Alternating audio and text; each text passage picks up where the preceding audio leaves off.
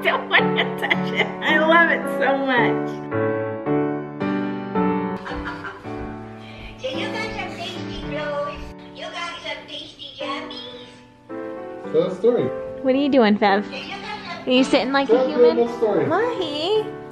No. Oh, I got pretty Who's that? Wanna check out Who my that? Sure. Oogie Mermaid. Tap the screen Yeah. and press the little arrow phone button.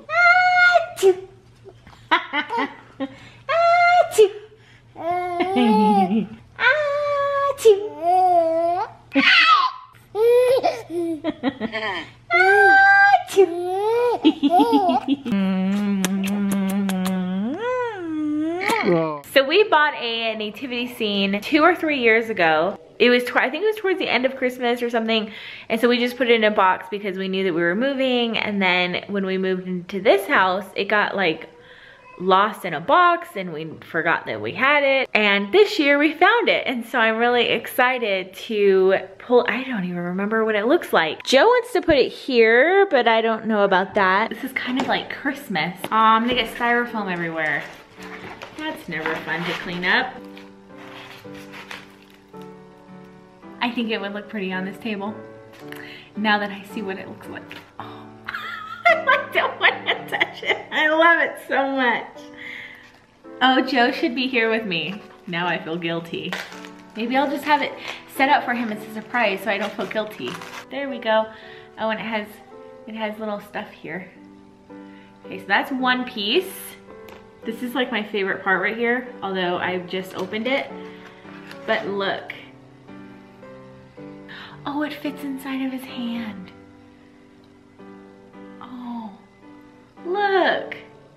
Sorry, I'm trying to have it focus on it. I'll do close-ups. Oh, it's the baby Jesus. Oh, I love every piece. And she has a little bunny next to her. How perfect is that? Okay, so that was box one. We still have three to go. Here's a little deer. How perfect is that? It's pretty perfect. Is it focusing on my face or is it focusing on the deer? A precious little lamb. No. And then the donkey. It took us so long to get a nativity scene because I saw so many of them and none of them were like my style. And so I remember when I saw this and I was just like, that's the nativity scene. Because before that, I had been looking for like six or seven years and just none of the nativity scenes spoke to me. And I felt like all the ones that I was finding like looked like everybody else's nativity scene. But this is the donkey. And I like that he has some red on him, brings in some fun color, and he's standing on some leaves. Box three. I'm guessing this one is the like little barn. Was I right? Yay, I was right. So it's like little sparkly branches. And then it has a star hanging right here. Good choice, Joe and Brittany from three years ago. Okay, last box. What am I missing? When Harper gets older, we're definitely gonna have to buy her like a toy nativity scene that like she's allowed to play with. It's the three wise men. And then he has a little squirrel next to him. Is that gonna focus on that? And then we have another wise man. And the last one. I really like his um, robe. Does anybody else have that? Because it looks like music notes. Love that. Okay, that is the nativity scene. Aw. That's super cute. You know what it reminds me of? That, um, that love thing right here. I'm glad you took my advice. Yeah, it looks really good here, right here, huh? It's weird because this year, now that I'm a mother and I kind of understand a little bit of, oh, don't cry.